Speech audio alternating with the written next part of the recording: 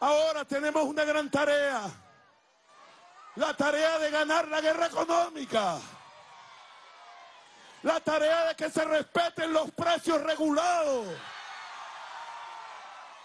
Denme 10 millones de votos y yo hago justicia contra las mafias de bachaqueros.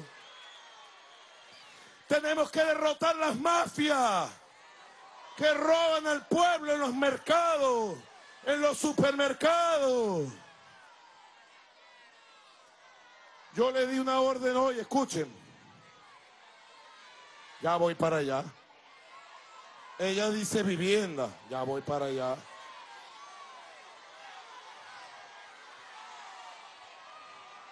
Le he dado una orden al vicepresidente ejecutivo de la República que cite a toda la red de supermercados y abastos, que cite a toda la red y les dé un ultimátum. Después del 20 de mayo voy a ser presidente igual. Si ustedes siguen aumentándole los precios a lo loco al pueblo, se van a ver la cara conmigo y voy a hacer justicia. Les doy la última oportunidad. La última oportunidad. Si no, la operación manos de papel irá más allá.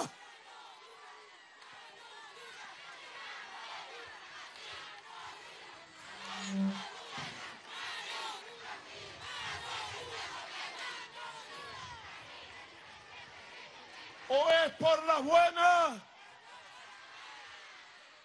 o es por las malas. O es por las buenas pero las mafias económicas que están robando al pueblo y cada vez que yo apruebo un bono, cada vez que apruebo aumento en el salario, en los estatiques, en los contratos, le roban al pueblo.